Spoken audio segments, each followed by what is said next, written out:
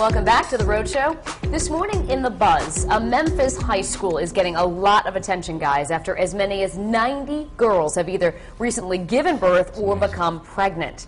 Well, now as school officials are trying to figure out what's going on, even celebrities are speaking out about the situation, and they're blaming television shows like MTV's Teen Mom.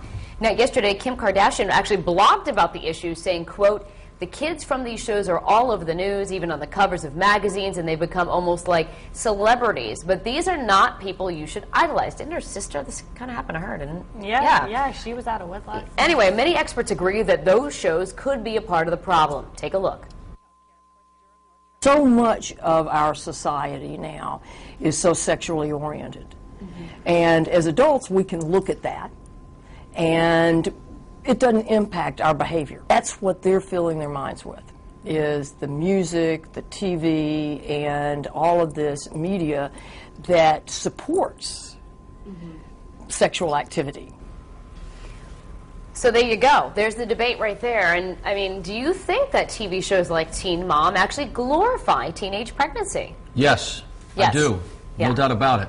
And it, I, I call it the, uh, the real world effect. Yeah. The minute the show The Real World came on TV, which mm-hmm. was probably 90s, right? Was it 90s? I was think I, 90s. I thought I might have been in high school, but anyway, early yeah. 90s. Yeah. Which promoted, you know, um, casual sex mm-hmm. and uh, acting without any sort of uh, fear of any recourse or responsibility. Mm-hmm. That just opened the floodgates, and I don't remember the last time MTV played a music video. I it's know. just about shows, yeah, about sex, about not wearing clothes, about you know not being responsible. Right. And, and people idolize. Yeah, I mean it's it's bad.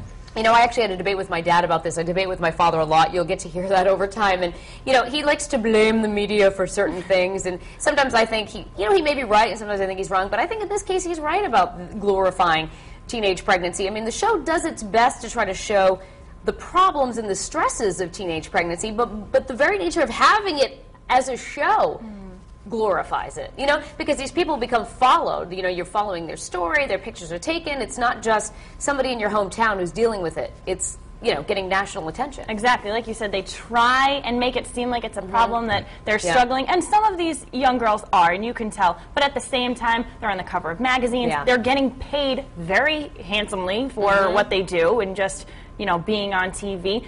And then I know that even girls that I graduated with are younger than me.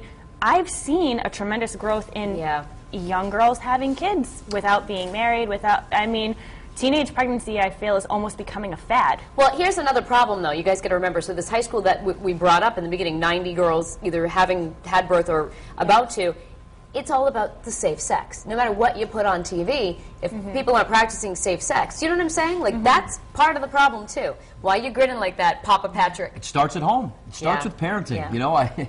It's pretty simple. Yeah. Birds of the bees, baby. It, it, it, takes two to make this sort of thing mm-hmm. happen, and you got to know what you're doing when you do it. And if if if there's not anybody, you know, keeping an eye on their kids and getting into these situations, mm-hmm. then it starts at home, and I believe that. And uh, you know, I, I I, that's how I was raised, and I, I well, that's how I'll raise my kids. Right, right. And uh, man, it's just so sad to see that. Listen, I'm 38 years old, about to have my third, mm. and I'm not even responsible enough at sometimes to take care of kids. And I've got a job, my wife's got a job, and you're talking about teenagers that you're you know, worried about dates and social study know, exams. So and, and, they haven't even finished high school half of the time, so it might look it's like a childhood fun loss, and, let's and face dandy. It. Lost childhood, yeah. exactly. Yeah, we don't want any part of that. So Have a child, lose your own childhood. Yeah, well, hopefully we can sure. reverse that trend at some point. But Courtney, what are people saying on uh, on the blog today about about this situation? They agree with this debate? A little bit. There's a lot of mixed factors out there, which they do agree that it starts at home, and plus there's other organizations out there that can help with free birth control and stuff like that. So we will hop on the live blog right now and see what all of our viewers are saying. And Jean said, it's hard to tell. Teenage girls are very impressionable, but I really don't understand why they get pregnant with all the free birth control methods out there. Lisa G says, being a teen mother myself, you would think seeing how hard it is on TV would stop them, but I think these shows do make them want to have babies to get on TV. And Tripp says, I don't think it's TV shows alone. I think it's the general attitude of people doing what they want and when they want without thinking about the good or the bad consequences of their actions. Here's the poll on foxprovidence.com. Do you think TV shows about teenage pregnancy have an influence on young girls? A, yes, it normalizes it and impacts behavior. Or B, no, TV shows are not the only problem. We've had a lot of activity on our Facebook page this morning.